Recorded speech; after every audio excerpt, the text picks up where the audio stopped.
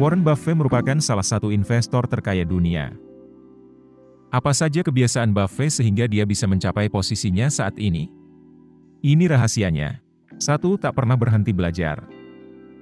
Buffett membatasi aktivitasnya ke sejumlah hal penting dan memaksimalkan perhatiannya kepada hal tersebut. Dengan kata lain, Buffett berhasil mengungkapkan apa bakatnya dan fokus terhadap hal itu hingga kemampuannya semakin bertambah dan tajam.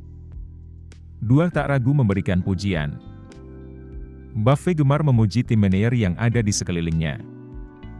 Buffett menyadari, dirinya bekerja dengan otang lain yang sama pentingnya dengan dirinya sendiri. Di mana pun dia berada, dia meluangkan waktu mengucapkan terima kasih kepada pihak-pihak yang membantunya menggapai sukses.